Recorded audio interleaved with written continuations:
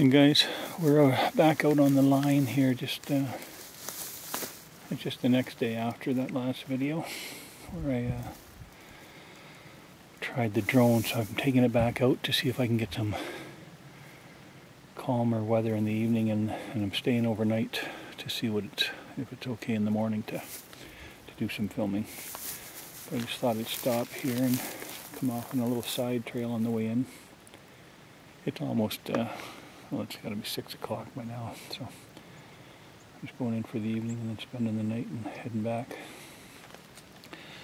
Gonna head up to the lodge tomorrow to finish closing up and everything, but I just thought I would, uh, like I said, come in here and check for beavers. And apparently, well, got a little trail here where they're cutting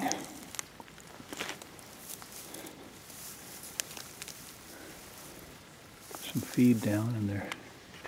Oops. Got a start of a little feed bed there. Probably two beavers in here. We trapped it out two years ago and there was nobody here last year. So, anyways.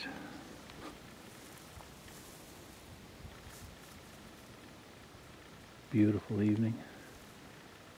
Wish I was at the camp already. I'd get that drone going right now, but I'm just a short ways away, so maybe I'll uh, have some time to take a flight when I get there.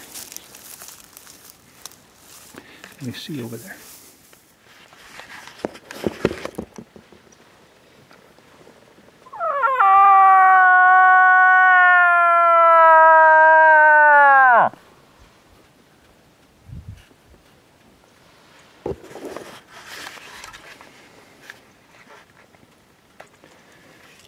We're right at that spot where I, on the way in yesterday, I called. Oh, shoot, the wind just changed right around on me. I was blowing from here out into the cutover. Just wanted to show you something. Just drove over it. It wasn't here yesterday.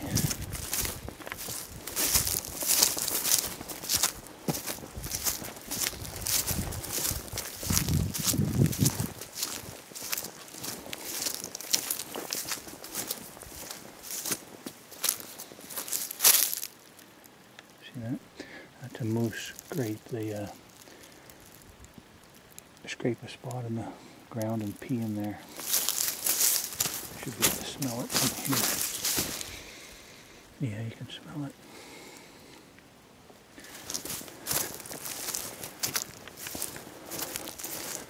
Well, that's bulls and cows will both use that. Cows to let the bulls know they're in the area.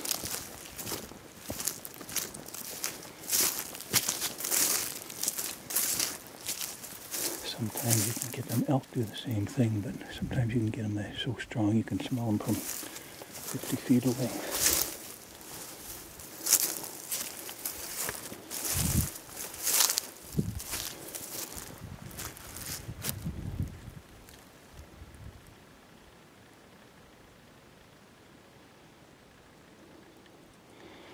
Sit here for a couple minutes and see if I can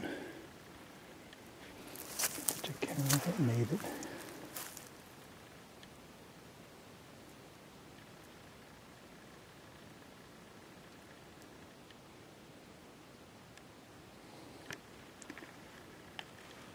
I thought I just heard a bull answer me.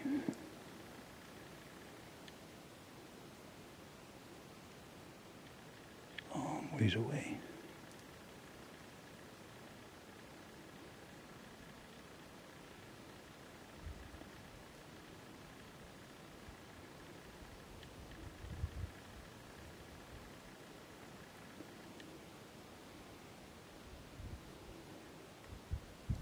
Ah, this dang wind. It's just completely changed right around. It's been blowing from the west all day now. Just it's right at my back and I'm facing west.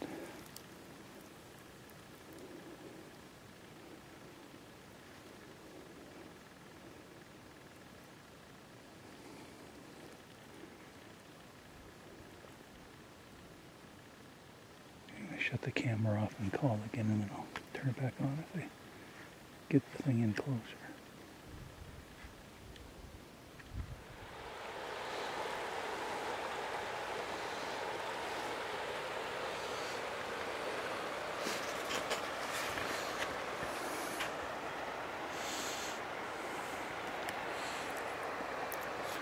Going guys? I'm at the camp and I decided not to get the uh, drone going tonight. I'll do that in the morning. Of course, knowing my luck, it'll be a bloody storm in the morning. But anywho, I decided to get my my power hooked up and it's alive. I have electricity now.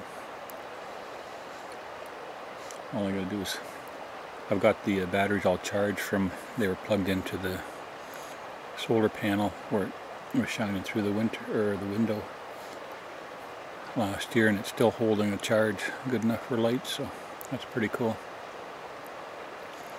So I will hook up that solar panel up on the outside tomorrow I'm fairly sure I have hinges here, but I better else I can't hook it up. But anyways, I will get that drone going. And this is such a nice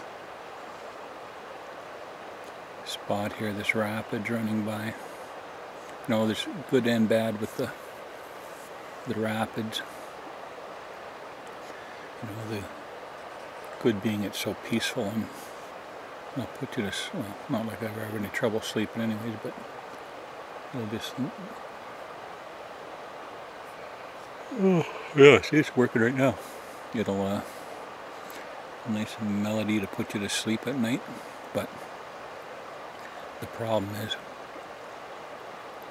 can't hear any moose calling, won't be able to hear any wolves howling unless they're right close by. But you take what you can get and there's no real lake to put a cabin on on my trap line that's you know really big at all. Fish Lake is big enough but it's right on a well-traveled route and I'm not I'm not doing that. Put a cabin out here to get away from people not to have every jackass that drives by stop and visit me. So, anyhow, it's a beautiful night, and I'm gonna go cook me some supper. Oh, that reminds me, I better do a, a joke later on tonight. I got a couple that I I kept meaning to do, but I ran out of time, so anyways, we'll uh, probably see you in the morning. Well, I will see you in the morning, but might be sooner if I find something interesting happening. So. Alrighty, later. I'll leave you to the melody of the river.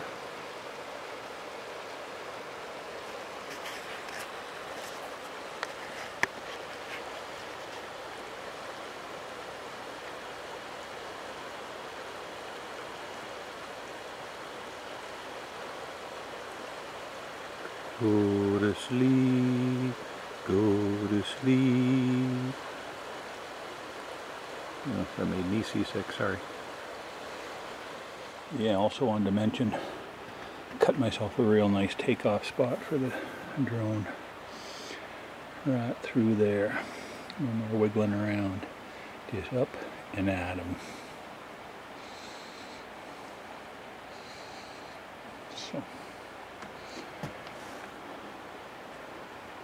Daylight fades and another wonderful day in the Northland comes to an end. Gee, that's pretty sappy. But it was a beauty day. It's three, four days, three days before October 1st. and I'm swatting mosquitoes. Had a couple frosts already, but nothing really, really serious. So, with this warm weather the last couple days, they woke back up.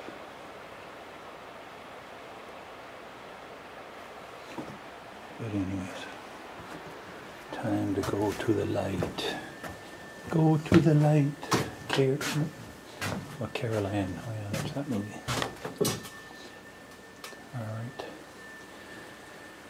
Clean up time, sweep the floor, do some dishes, organize. Alrighty. Anyways, Norm, here's that solar panel. I bought at Canadian Tire for, it was on sale for, I think 80 bucks. Let me see, maybe the price tag's still on. Here's the box here. It's a Coleman 40 watt 12 volt crystalline solar panel kit with stand. Comes with your, the only thing it doesn't come with is your inverter. Yeah, there's no no price tag on it, but I'm pretty sure it was 50% off, and I got it for like eighty dollars. You know, Norm was asking and looking for what kind would be awesome. Well, this one is pretty awesome. So, later. So guys, I'm pretty much done for the day here. Well, I mean doing stuff. Cleaned up pretty good in the camp, but an odd thing is, now I know there's been a few people in here, but why would somebody steal my broom? That's just too weird. But it is gone, so who knows. I'm just sitting down for some supper. Just kind of a plain supper today. We got half a can of Klik fried up with a half a can of chili on top and some bread. And that's what I'm going to have for breakfast in the morning too before I get too crazy. But just sitting here writing in my book trying to figure out uh, what I can do some stories on. So if anybody has any ideas, let me know. I think I have pretty much done uh, everything uh, I had in this list but it's hard to say because you know how my memory is and I'm in the process of writing my second book and a lot of the stuff that I have on this list is in that book so I don't know whether I've actually done a story time on it or if it's just uh, I'm just thinking I did because it's I wrote it in the in the book. But anyways I guess some of it you're gonna have to buy the book to hear it so anyways. Oh that's yummy.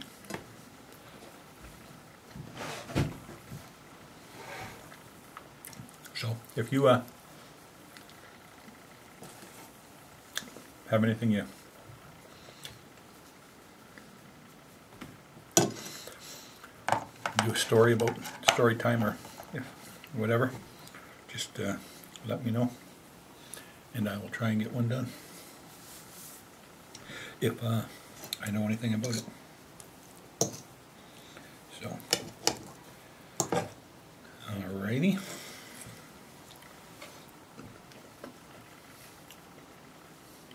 I should bring my computer in here now that I have power and I can do a I can do some writing to that task completed. So, anywho, alrighty. That is good shit, man. Yeah, that's what I can do. I gotta sharpen my chainsaw after supper. Yeah, I know. It's like 10 o'clock and I'm just having supper, but oh well, I was busy. Sue me. Later. Morning, guys.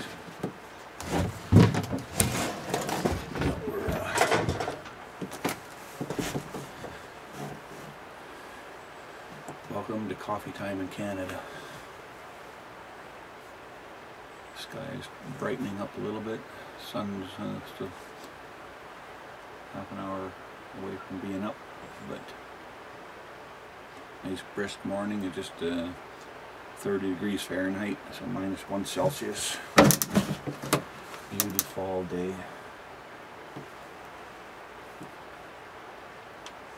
We'll just let the sky get a little brighter before I uh,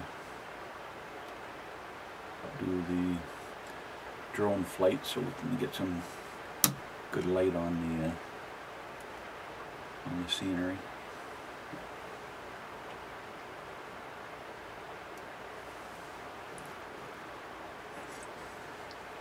Cool enough this morning that I got a fire going inside. Of the sounds of a trapper's cabin waking up, wood popping in the fire, water boiling on the stove. Awesome.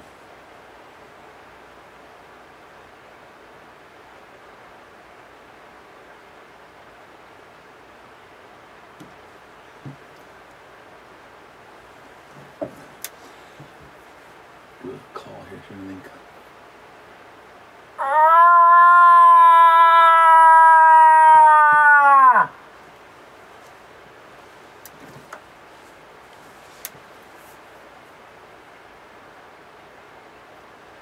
Not a lot of moose hang out down along the river here. They're all in the cutovers most of the time, so they never know. Might get one answering that's crossing back and forth looking for a, a girlfriend. So.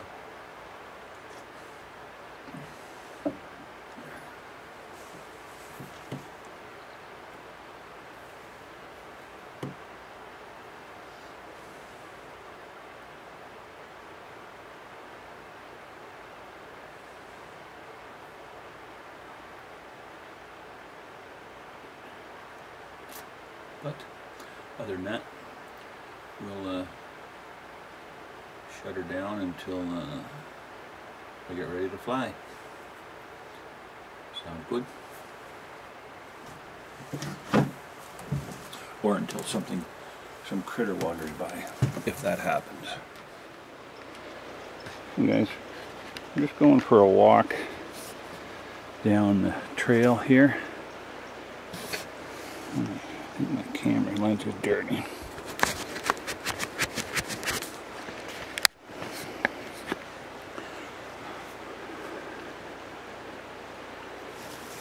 And the sunlight's too bright.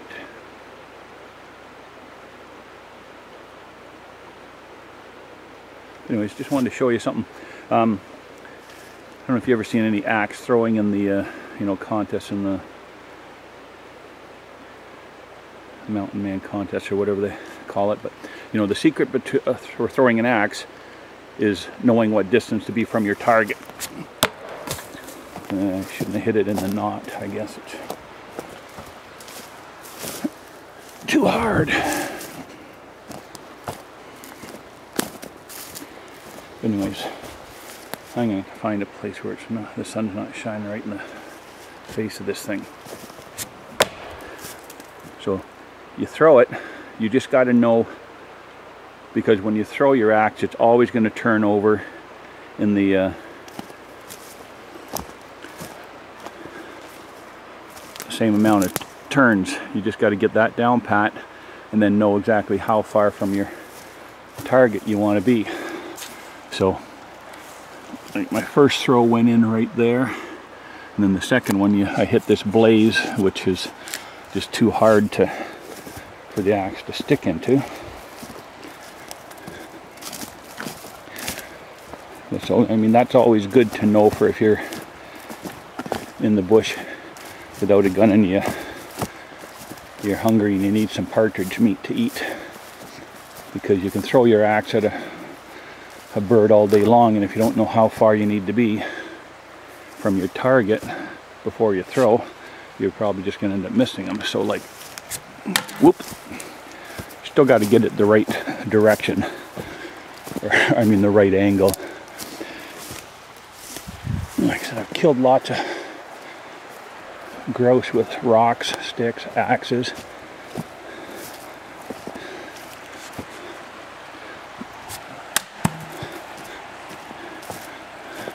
Oh, looks like there is beavers up there again. They've got some, I think. Anyways, we'll go check.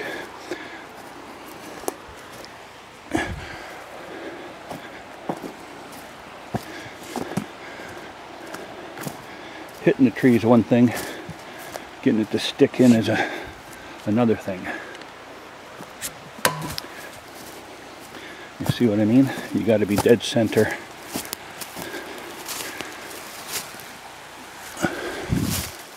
or you're going to be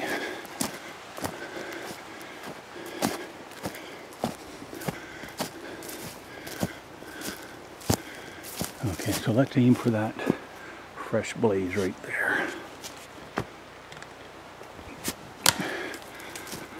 well, it's fairly close but just off but it would have been a dead partridge anyways So we're gonna go for a walk down here, see if these beavers are still here. Or I guess not still here. I think I, there was only two here last year and I took them both out, so we'll go find out.